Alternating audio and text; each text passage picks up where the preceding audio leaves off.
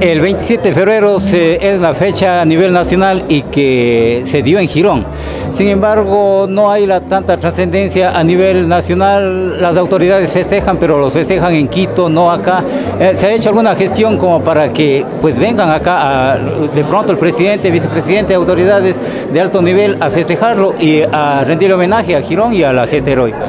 Sí, ha sido una pena que alguna oportunidad sí se ha celebrado en Girón. Lastimosamente, la mayor parte de veces este, esta efeméride se ha celebrado solamente en Quito.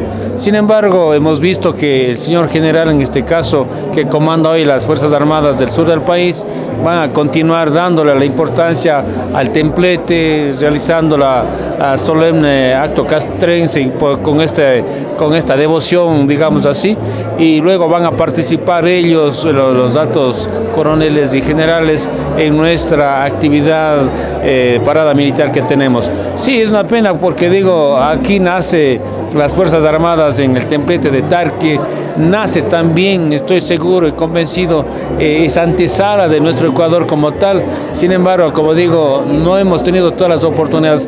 Vamos a hacer lo posible, hacer la gestión, ojalá no sea tarde, para que se dé la relevancia posible este 27 de febrero, que ojalá, señor presidente, o las autoridades altas puedan participar de este evento magno que, que es necesario vivirlo, rescatarlo y que sea como una identidad de nuestro sur de la SUAY como es donde está Girón y que limita también con Cuenca. www.achiras.net.es, el portal de Girón